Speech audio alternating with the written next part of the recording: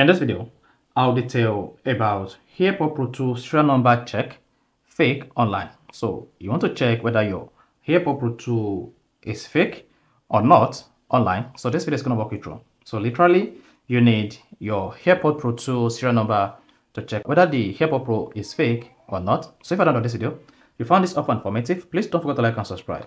However, the first thing you need to do is you need to get your AirPod Pro 2 serial number and then to get this, you can just pair your AirPod Pro 2 and your Apple iPhone together like this.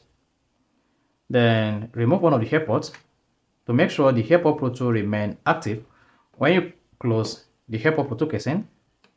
Then go to your iPhone settings.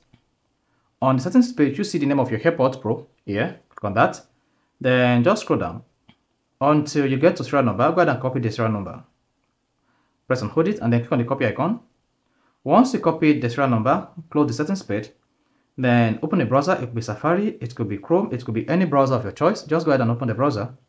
Then on the browser page, search for Apple Coverage Check. Then click on the first result.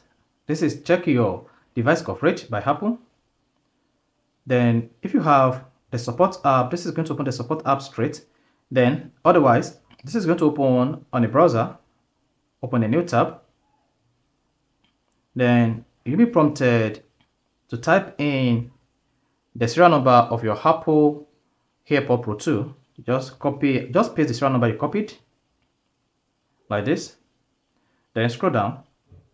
Then type in this to confirm you're not a robot. Type in the characters.